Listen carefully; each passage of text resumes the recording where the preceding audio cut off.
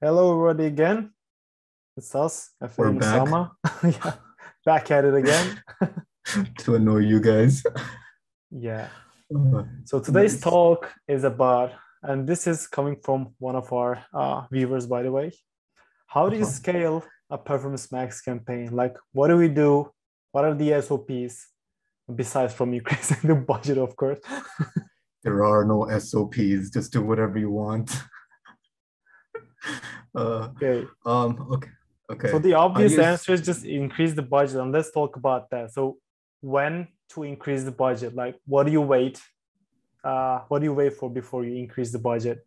So if you're launching a PMAX campaign, you'll have this armrest thing. It's so cool. Okay. So, um, when you're in a PMAX campaign, the what you want to look at is okay.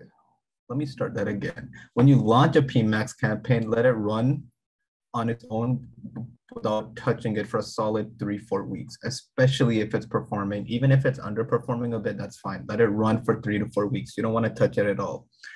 That's when you start making changes. The typical, without the most obvious choice to scale a performance max campaign is to straight up increase the budget. But that's also after you let it run for a month, is what I like to leave it for um, on average. Easiest option is increase budget. And when do you know to increase budget? Is when you start seeing consistency in your PMAX campaign. Let's say you're near your goals. Um, even if you're slightly below, it's okay. Just start increasing your budgets around 15 to 20% every two weeks or so if you're scaling. That's the most obvious answer. But Okay. with scalability comes problems. The more money you spend, the lower your ROAS comes. How do you maintain that ROAS? There's other ways to increase budgets, spend more money while getting the most money out of your campaigns. before increasing the budget, you have to make sure that your Performance Max is ready to increase the budget. Like it has Mhm. a solid T ROAS. And by the way, uh, do you increase the budget uh, after or before you hit a T ROAS?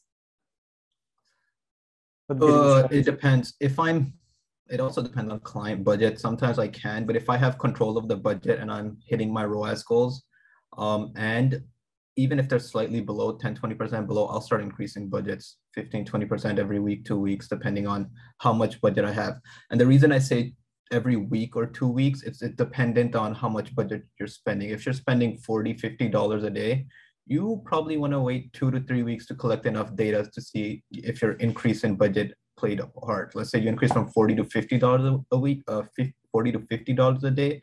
Wait like two weeks because you're only spending 50 dollars. You let it collect data and then make a judgment based off of that to increase budget again. But if you're spending like 100, 200 dollars a day, you're good to just increase budget after every week kind of situation. Mhm. Okay, now- what else instead of increasing budget? Maybe supplementary campaigns. Like you had some great theories about that. What do you, why don't you start Yeah. with the supplementary campaign? So another thing, if let's say your PMAX is running, you're hitting ROAS goals, you're too scared to run budgets, you can launch supplementary campaigns. The easiest ones that are most effective are DSA, which just run a DSA campaign for all your products and let it run wild. Mhm. Um, after it collects enough data, yeah, after it collects enough data, let's say you're at like 30, 40 conversions for a month, hit it with a target CPA and it does really well. What you'll see, what you'll expect, and I guess what you should expect is that it'll fluctuate every week. One week you'll do really, really well. Other weeks you'll do kind of bad because it's like going back and forth between the audiences between PMAX and DSA. So expect that fluctuation with DSA, but it's fairly consistent throughout in terms of getting results. Um, the other thing you can launch is an inbound campaign. Take your search categories, look at your search Mhm. categories in your PMAX, whatever your best performance keywords are. Uh, toss them in a inbound campaign, a search, a regular search campaign as a broad match, and then slap a target CPA on it. That's not exactly what you want immediately, but a little higher. Okay, maybe like, yeah, not a little higher, a bit higher than what you want, and let it run for Maybe a while, 20%. And once it, yeah, 20 to 30% higher than what your goal is, depending on yeah what your goal is. Then wait like two to three weeks before starting to drop that Yeah. TCPA because it'll give enough time. Even don't here, be eager like the goal is to Yeah. scale like if you're hitting like you're getting a conversion for like $25 don't put a T Mhm. uh, TCPA for 25. You are you're you are aiming to scale.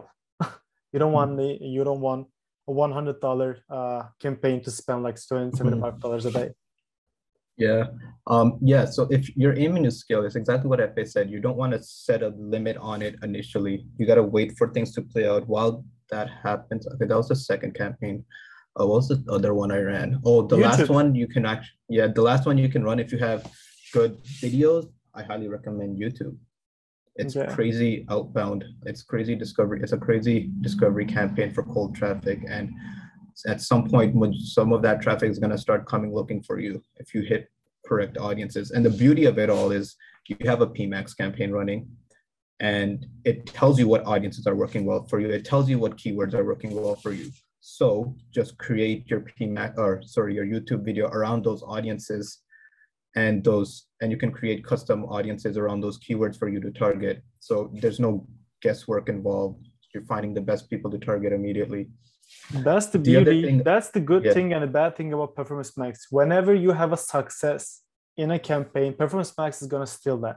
Use that into your advantages. Use DSA, use broad match TCPA, use YouTube campaigns to let Performance Max see a gold mine. Then it's just I don't know if if if it's the right word for it, but it just abuses those people. Because in a search campaign, you are targeting the keywords, but in the Performance Max campaign, you are targeting the person yep. who is searching for that. So there is no mm-hmm. escape from a Performance Max campaign. Got YouTube, yep. Gmail, display, discovery, everything. Yep. And yeah, go on. Some I think I just interrupted you. Sorry. No, no, that's fine. The only thing I was gonna add on to the scalability of your accounts as you're scaling, make sure your website is on par with it. Your workflows are, are on par with it because as you're scaling, the amount of cold traffic you're going to be reaching is going to increase significantly. You got to be able to convert that traffic, which means you got to have have email setups, you got to have SMS setups, you got to have remarketing setups, basically anything to bring them back to the website and make sure your website looks yeah. good. Yeah, on, onto that website thing, uh, you know, that Performance Max works similar to DSA. So before you run a Performance Max campaign or even just scale it, uh, just copy paste your URL into Keyword Planner and see which keywords are you uh, you are like uh, showing up for. So yeah. maybe even link your Search Console to your uh, Google Analytics and share that data to your ads account. So uh, we have a example for that, our client is just showing up for like two keywords. We just wanted them, we mm-hmm. copy paste the URL in keyword planner and we see that they're only indexing for those keywords. So that yep. is another limit for your performance marketing campaign. Yeah, it has to be set up. Like now it's an omni-channel. Mm-hmm. Now you have the Facebook elements, the SEO elements. Now you have everything. yep. Yeah. Agree. What else? Uh, scale a performance marketing campaign. I think that was uh, it. Oh no! Uh, one more thing, like um, mm-hmm. more asset groups, but oh uh, yeah, what to what to target for? Like I I have an example for that one. Mm-hmm. Uh, if you are stuck, like we already shared this in, I think it was the strategy meeting where we all like meet. You have, of course, all converts, all visitors in market, but you have unlimited options when it comes to performance max campaign. So just think outside the box. Like we have an example for that uh, our clients is selling bikinis. Of course, you have some in-market audiences, affinity audiences for that. But think this way: who would buy a swimsuit? Who would buy a bikini?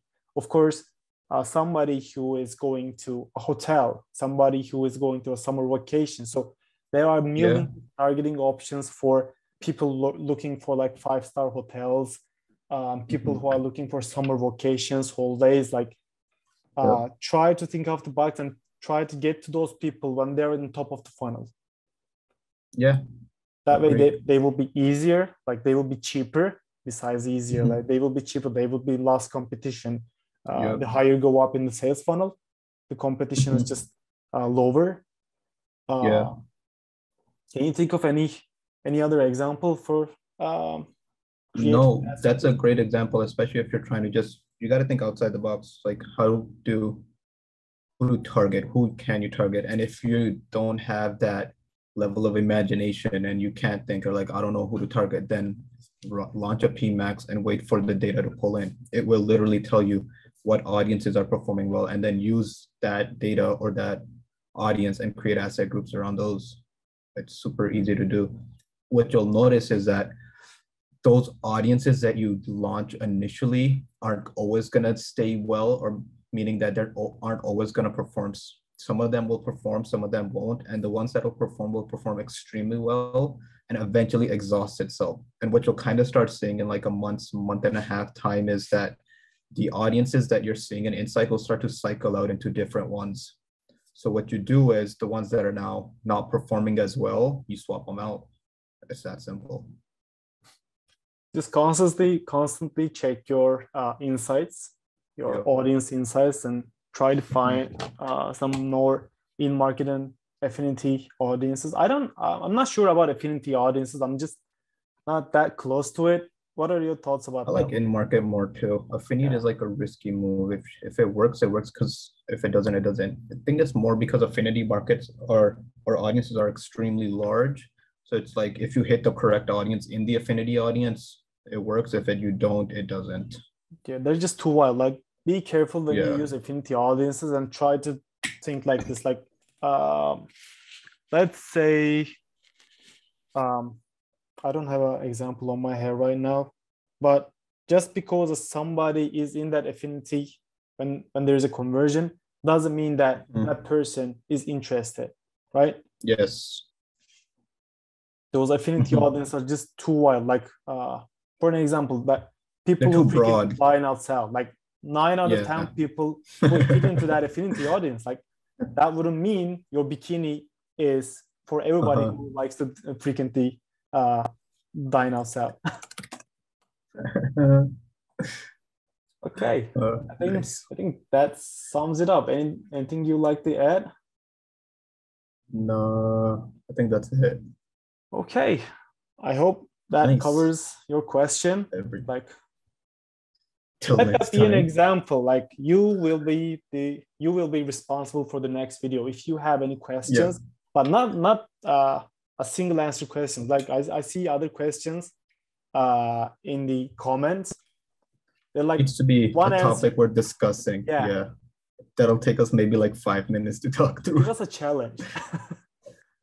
Yeah if they're gonna ask questions we're not gonna know the answer to now Give us a challenge. That's better. Like that drives us. We now we have to go yeah. find the answer and just show to them uh-huh. like we come up with the idea. We just Yep. If it's too hard, we just ask John. yeah, basically. All right.